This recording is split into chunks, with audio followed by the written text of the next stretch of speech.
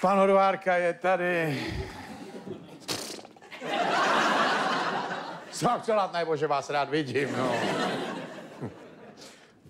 Čas na toaletě se do pracovní doby nepočítá, rozhodl švýcarský soud. Mě zajímalo, jak to sčítají.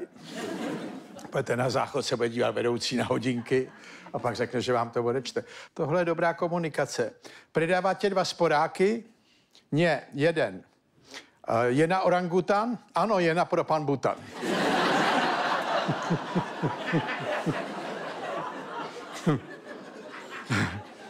Národní eh, sbírka z dozvyků. Rád žeru v posteli, bohužel je to asi nejčastější důvod našich hádek.